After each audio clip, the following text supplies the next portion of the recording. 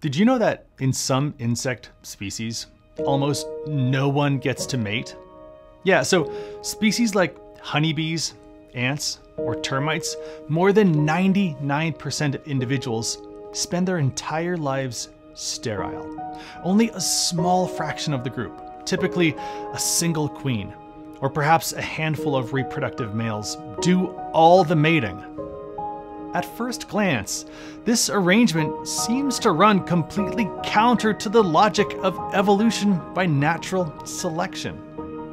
After all, if natural selection favors traits that increase reproductive success of individuals, how could it be that the vast majority of individuals in these circumstances have apparently given up their chance to reproduce? In this video, we start to unpack this little puzzle, examining the genetic and ecological explanations for how eusocial insects can thrive when so few of them ever mate at all.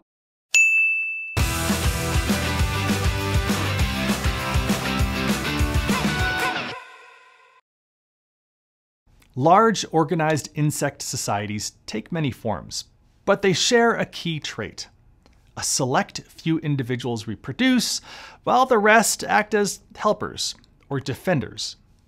In a typical honeybee hive, like Apis mellifera, a single queen lays all the eggs, and tens of thousands of sterile workers gather nectar, produce wax comb, feed the brood, and defend the colony. There's a few male drones that exist just to mate with the queen on her very first mating flight and then they die shortly after. She stores all the sperm and never needs to mate again. Ant colonies parallel this system, but often have more specialized castes, like soldiers with enlarged heads and powerful jaws for defense, or oversized super soldiers, or different types of worker morphs.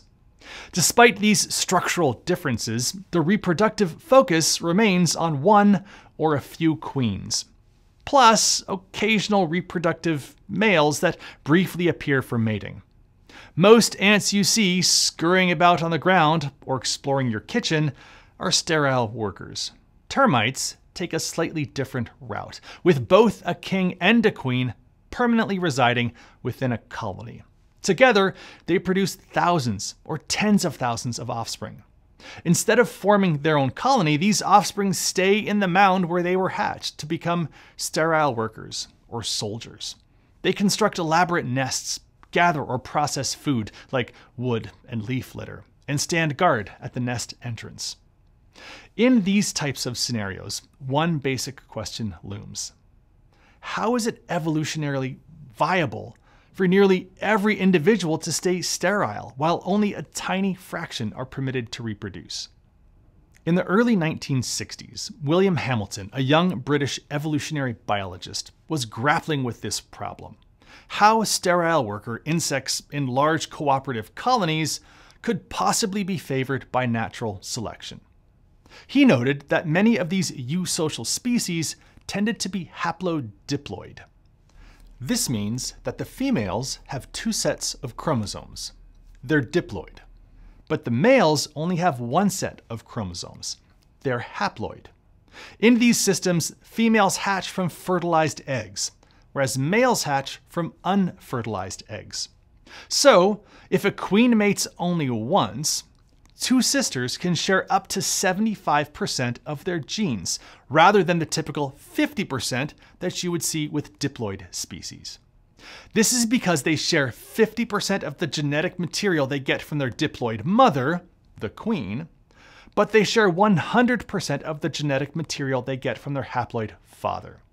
So, from a mathematical standpoint, if you assume that sterile sisters share 75% of their genetic material, then helping to raise additional sisters could yield a bigger payoff in terms of passing on shared genes as compared to the alternative of having your own offspring.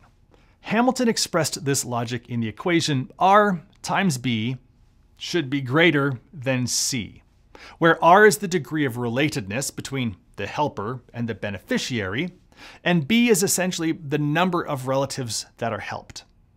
C would be the cost in missed reproductive opportunities. So imagine if honeybees were diploid, and a worker could leave the hive to rear, say, 100 offspring, each of those offspring sharing 50% of her genes. So that would be 50 total gene copies. In a haploid diploid system, however, she would forfeit that 50 copies. So C would be 50. But if she helped to raise 100 sisters, each sharing roughly 75% of her genes, that would give her an R times B of 0.75 times 100, 75. So she would benefit 75 gene copies. Because 75 exceeds the cost of 50, she would gain more genetic success by remaining in the colony. And even though brothers would still only share about 50% of her genetic material, they occur less frequently. So her main payoff comes through her sisters. Hamilton's rule helps to demonstrate how altruism can be adaptive and beneficial despite workers foregoing the opportunity to reproduce on their own. Now, this seems to work really well for haploid diploid species like bees and ants, where the relatedness between siblings is high. But then you have species like termites, for instance, that are fully diploid, but just as social. And here's the other kicker. Not all haploid diploid species are eusocial either. It's really only a small percentage. So while Hamilton's rule might help explain some of the benefit of kin selection and eusocial behavior in some instances, it kind of falls short of being a universal rule that can be applied across the board. So what else could explain eusocial behavior? And in particular, sterile castes of workers in diploid species like termites. Well, in the 1990s, an American ecologist named Barbara Thorne proposed that, well, is probably lots of things. Her work indicated that multiple ecological and life history traits likely stack up to make cooperative, permanently non reproductive helpers beneficial. If we look at termites, first, early termites likely occupied well defended, food rich habitats like rotting logs, where founding queens and kings could remain for many reproductive cycles. This stable, protected nest meant that staying put and assisting relatives often beat the risks of dispersing alone. Next, termites undergo hemimetabolous development. This means that their juveniles, called nymphs, look like smaller versions of the adults and gain adult traits gradually with each molt, so they don't have a distinct pupal stage. So these immature nymphs are functional in the nest. They can help with tasks rather than just waiting to pupate. Each generation can thus start sharing brood care and foraging duties. Monogamy in the founding pair further supports cooperation, since overlapping generations of siblings have enough genetic incentive to help one another. While those relatedness levels may not match the Hymenopteran haploid diploid of 75%, they're still high enough for altruism to pay off when you factor in safe nesting and continuous brood care. Some of Thorne's support for this multi-factor view came from comparing termite species with their closest cockroach relatives, the Cryptocercus. Some wood roaches show extended family associations and transfer symbiotic microbes to their offspring. But they lack the full suite of traits like prolonged nest defense and overlapping broods and strict monogamy that seem to push termites all the way to the point where a sterile caste is adaptive. But taken together, these findings suggest that eusocial behavior in diploid species like termites arises through a synergy of factors. There's no single hypothesis, whether it's about inbreeding or sibling sibling relatedness, that explains why termites commit so heavily to non reproductive roles.